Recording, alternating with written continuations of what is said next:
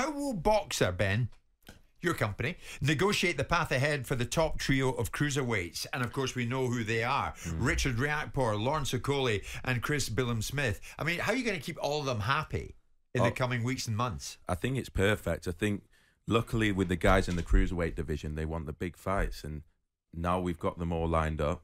Billam-Smith will fight in a stadium in Bournemouth in May. We'll announce that next week. Richard Riakporhe, we finalised what he wants to do la- next week, and it is so exciting. He wants his fight after fight after big fight. Lawrence Okolie, the world champion, now with Sugar Hill fights on March 25th against David Light, an unbeaten guy. He's got to come through that. And I, after a year out the ring with a new trainer, with a guy that's been after him for so long, that is a potential banana skin. So Lawrence has to come through that. But I think everyone's excited for the Okolie Riakporhe fight. Everyone's excited for Billam-Smith to have a world title opportunity and possibly have that rematch with Riakporhe as well. Richard and Lawrence both want to move up to heavyweight after three fights. They're they're big, big guys at the weight. They're six foot five. They're six foot six.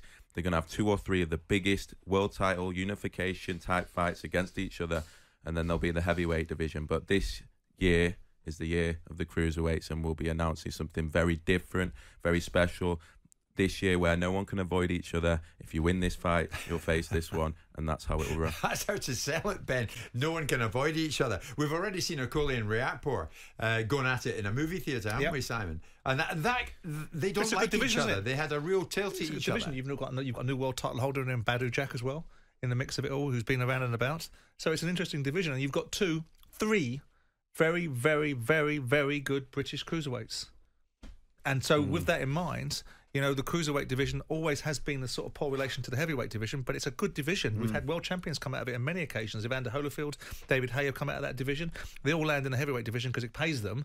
But notwithstanding that, we've got great fighters in there now. You you mentioned Badou Jack there, who become the oldest ever cruiserweight champion yeah. at 39 years of age. Ben, a question I wanted to throw to you. You know, you got that trio of cruiserweights there, all waiting for world title shots. Surely they're all chasing Badou Jack. I mean, is there a possibility that Badou Jack could be boxing one of those next? Look, I, personally, I don't think Badou Jack will go any way near all three of them. All three of them are obviously desperate for that fight. I think that was very much a veteran world title fight, if we're honest, with yeah. Makabu and Badou Jack coming towards the end of their careers. I'd be very, very surprised. I actually think there's a rematch clause with that fight, but I'd be very, very surprised for Badou. although we would pay very big money and we would love him to fight Lawrence or mm. Richard or even Chris, I can't see it happening. I think Jai Opetaia, Arsen Goulamirian, who are probably the top level guys in the division, I think they're the guys that will be wanting to come over here and take the challenge. Ben, we mentioned that scrap in the movie theatre, Okolie Riakporhe, and it was part of a promotion. Is is all promotion good promotion? Were you uh, not entirely happy with how that unfolded? Look, I think after the Eubank Smith press conference, it was, you know, part of us was thinking, you know, not all promotion is good promotion.